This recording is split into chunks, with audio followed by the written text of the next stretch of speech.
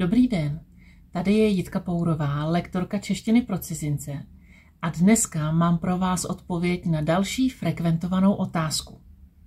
Chci studovat češtinu sám nebo sama. Jakou učebnici si mám vybrat? Dobrá informace je, že máme hodně kvalitních učebnic pro studium češtiny pro cizince. Jak si vybrat? Za prvé, nejdřív musíte znát svou úroveň. Máme šest úrovní ve studiu jazyku. A1, A2, B1, B2, C1 a C2. Nikdy jste nestudovali češtinu, potom jste úroveň 0 a kupujete učebnici A1. Jestli už jste studovali češtinu, pak asi víte, na jakou úroveň jste se dostali. Úroveň je napsaná na učebnici nebo na materiálech, které jste používali. Neznáte svoji úroveň, to nevadí. Kontaktujte svého lektora a zeptejte se ho.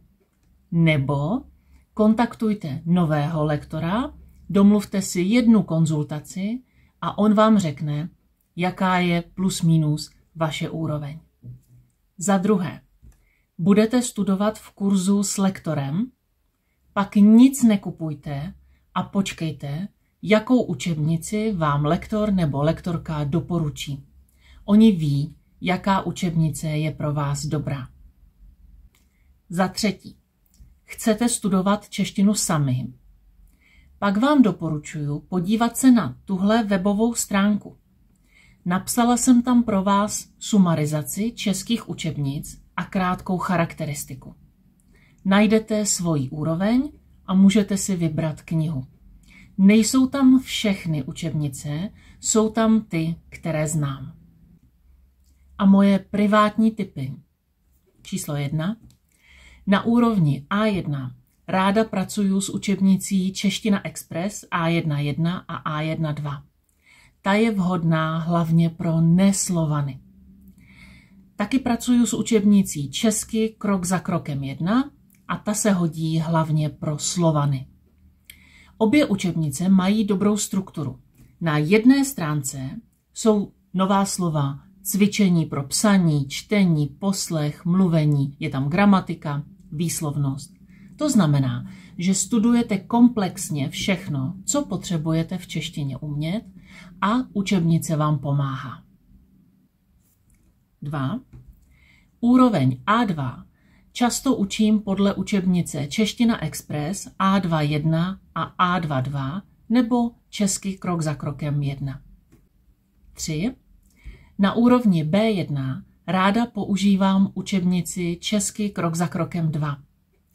Ráda pracuju taky s učebnicí Čeština pro cizince B1, ale myslím, že tady potřebujete lektora. Je dobré, když vám lektor s knihou pomáhá, kompletuje části, které k sobě patří a tak dále. Každá kniha má jiný koncept a je dobré to vědět. 4. Na úrovni B2 často vybírám učebnici Čeština pro cizince B2 a můj komentář je stejný. Doporučuji pracovat s lektorem. 5. Pro úroveň C1 máme zatím jenom jednu učebnici, Check It Up 5. Nebo můžete pracovat s autentickými materiály a trénovat to, co potřebujete. Protože na úrovni C1 už znáte svoje silné a slabé stránky v češtině. Přeju vám ve studiu češtiny hodně úspěchů.